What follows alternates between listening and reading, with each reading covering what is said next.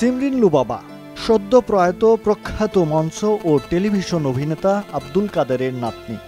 দাদার অনুপ্রেরণায় খুব ছোট বয়স থেকে লাইট ক্যামেরার দুনিয়ায় লুবাবা। শিশুশিল্পী হিসেবে পেয়েছে ব্যাপক পরিচিতি।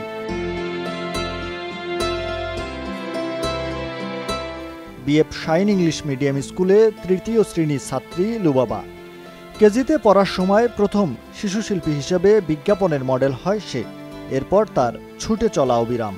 কিন্তু হঠাৎ করে একটি অপ্রাপ্তি।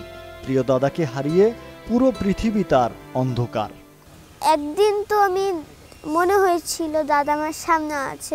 যেদিন দাদা চলে গিয়েছিল, তো সেদিন আমি বাসায় এসে দেখি যে বারবার আমার মুখের সামনে কেমন বাতাস টাইপের আসতেছিল। তো সব জানলা বন্ধ ছিল। দুপুরে। তো কেমন যেন একটা বাতাস আসতেছিল। আমি মনে করেছি যে দাদা আমার সামনে আছে শ্বাস নিচ্ছে। এখন আর তার দাদা নেই। তবে প্রতিদিনই দাদার জন্য অশ্রু ঝরে লুবাবার। তার দাদা যেন পরম শান্তিতে নরম বিছানায় ঘুমায় সেজন্য রোজ নামাজে বসে দোয়াও করে ছোট্ট লুবাবা। দাদার জন্য নামাজ পড়ি।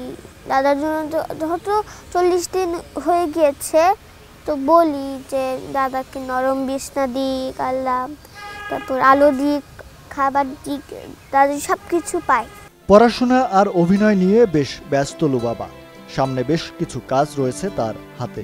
সে বিষয়েও কথা বলে লুবাবা আমার একটা মুভি এসেছিল আনান্যা পান্ডের সাথে তো ওটা তো কোভিডের কারণে দাদাও ছিল তখন তো কোভিডের কারণে আর একটু লেট হয়ে যেত। মাত্র তিন বছর বয়সে আব্দুল কাদেরের সঙ্গে অভিনয় শুরু করে ছোট্ট লুবাবা। তিনি লুবাবাকে বুঝিয়ে দিতেন কোন দৃশ্যে কীভাবে অভিনয় করতে হবে। এখন দাদা নেই তার তবে দাদার স্বপ্ন পূরণে বদ্ধপরিকর লুবাবা।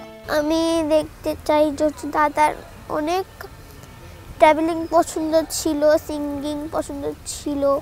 তো আমি সিঙ্গার হব আর হচ্ছে পাইলট হব। দাদার ট্রাভেলিং অনেক পছন্দ।